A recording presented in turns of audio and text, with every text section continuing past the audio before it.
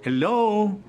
Good day everyone, especially to grade 12 ICT Computer System Servicing students of Davao de Oro. I am Sir Rex Yepes Saraus of Monkayo National High School, Senior High School, Monkayo West District, your teacher for this week's topic. Today, we will be learning new lesson.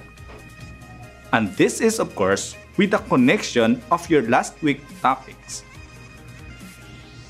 But before starting to our discussion, make sure that you are always observing health protocols. Social distancing and wearing of your mask when you are in the group. And of course, your body, mind, and heart are ready for our lesson. Are you ready, students? Very good. I think everything is ready, so here we go. In your first quarter discussion, you learned about different types of software. The system software and application software. And on second quarter, you learned about installing operating system and drivers for peripherals devices. During this time, you learned how the operating system and device drivers work together in your computer. Class, I need to refresh all these things because our topic for this day is somewhat connected to the two previous topics. Because our topic for this day is install application software. And our objective for this lesson are the following.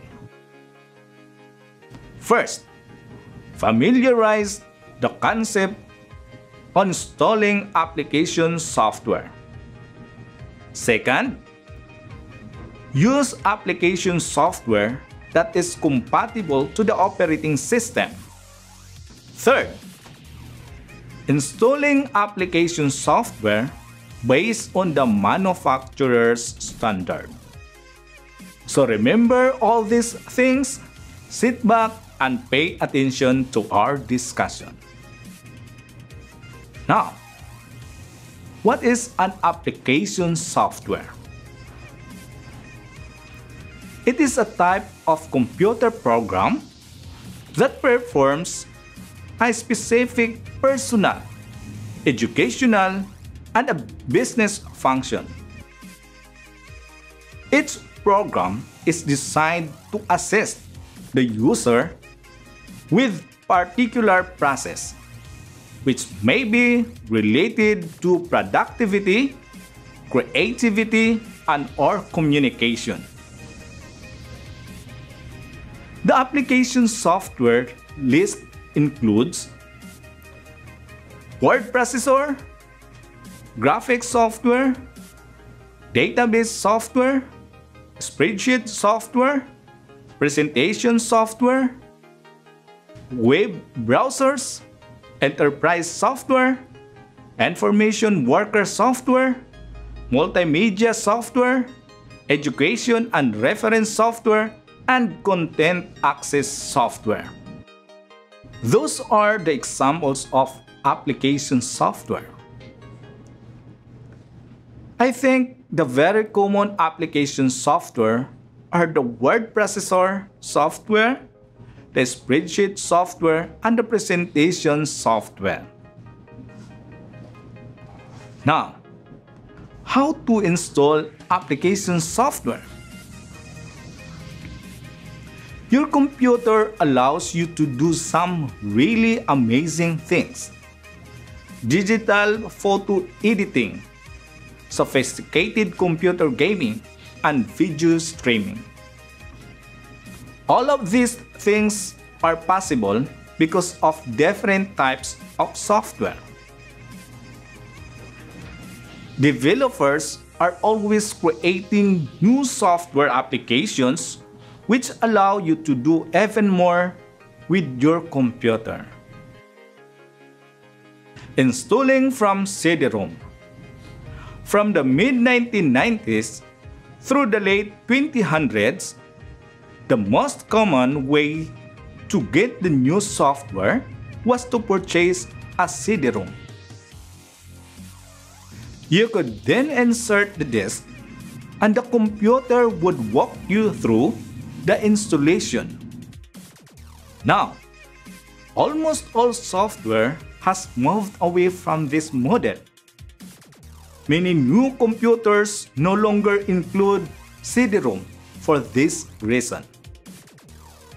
However, if you do need to install software from a CD-ROM, simply insert the disk into your computer, then follow the instructions. Next, installing software from the web. Today, the most common way to get new software is to download it from the internet. Applications like Microsoft Office and Adobe Photoshop can now be purchased and downloaded right to your computer. You can also install free software this way. First, download the file. The installation file will be saved to your computer in exe format, pronounced .exe. This is a standard extension for the installation files on Windows computers. Second, locate and download an exe file. Third, locate and double-click the exe file. It will usually be your downloads folder. Fourth, a dialog box will appear. Follow the instructions to install the software. And fifth, the software will be installed. You can now open the application from the Start menu of Windows 7 or the Start screen window of Windows 8 and 10. Example, installing Google Chrome from the web. First, we have to go to www.google.com, then press enter. Second, on the search bar, type Google Chrome download, then press enter key as shown in this illustration. Third, select the most appropriate link of the Google Chrome. Locate and download exe file. Fourth, locate and double-click the exe file. It will usually be in your downloads folder. Fifth, a dialog box will appear. Follow the instructions to install the software. And the last one, the Google Chrome will be installed. You can now open the application from the Start menu of Windows 7 or the Start screen window of Windows 8 and Windows 10. Almost the same process with other application softwares. What is important is you will consider the operating system you have in your computer and the capacity of the hardware for installing the application software.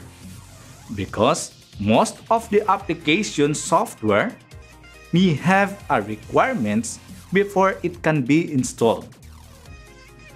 As an example, you cannot install Office 2016 and above to Windows 7 operating system. Same that you cannot install Photoshop CS6 in just 1 GB of RAM. Always remember that application software is a type of computer program that performs a specific personal, educational, and business function. Though application software are just an add-on program, but it makes your computer a general purpose computer when you have it. It can easily be downloaded from the web, but before the installation, consider the type of operating system and the capacity of your computer. That's it. Any question? None? Very good.